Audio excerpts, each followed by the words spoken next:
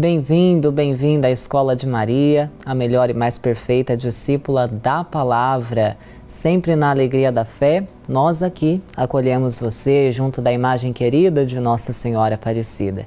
E neste programa do Escola de Maria, nós vamos falar sobre a Natividade de Nossa Senhora.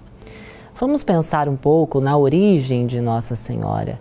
Os pais da Virgem Maria, Joaquim e Ana Conta a nossa tradição, não apenas nos evangelhos apócrifos, mas também a tradição oral que vem sendo transmitida ao longo de tantos tempos, que Joaquim e Ana eram um casal que não possuíam filhos.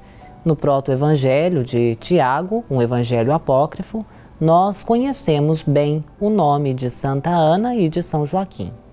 Ali percebemos um casal já em idade avançada que não possuíam filhos e naquela época, devido às circunstâncias, quem não tinha filhos, quem não tinha descendência, não era bem visto. Era um sinal de que a bênção de Deus se faltava àquelas pessoas. Então Joaquim foi fazer no templo a sua oferta quando foi repreendido por um homem. E este homem disse que ele não poderia fazer sua oferta porque não tinha descendência. Mas foi ali justamente a Joaquim e Ana que o anjo do Senhor se manifestou, dizendo que eles teriam uma filha. Assim nós percebemos a gestação de Nossa Senhora se iniciando.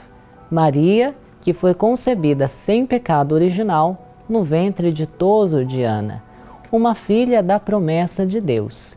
Foi Deus mesmo quem preservou a Virgem de todo pecado e de toda culpa desde a sua conceição, a sua concepção no ventre ditoso de Ana. Maria se torna então a eleita do Senhor.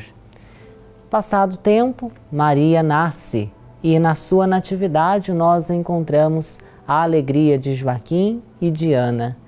Imaginem que situação maravilhosa aquele casal experimentava ao receberem em seus braços a mais bela de todas as criaturas, a filha da promessa de Deus.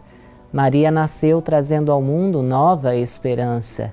Ela seria a mãe do Salvador.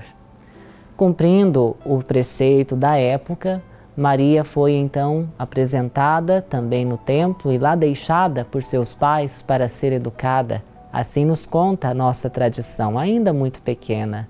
E Maria lá no templo, aprende toda a sua educação, toda a sua formação para a vida. Ela que era a cheia de graça, a amada de Deus. Chegamos ao fim deste nosso encontro aqui no programa Escola de Maria. Desejo a você muita graça, muita luz em seu caminho, que Jesus continue a iluminar o seu coração e que a presença da Mãe Aparecida seja constante na sua vida. Até o nosso próximo encontro, se Deus quiser.